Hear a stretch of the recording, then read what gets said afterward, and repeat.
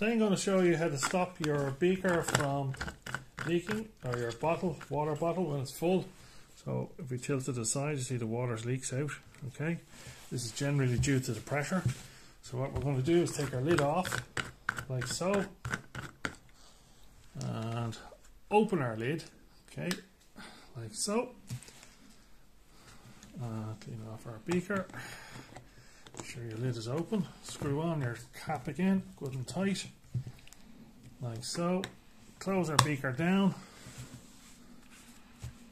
and our beaker doesn't leak. Thank you.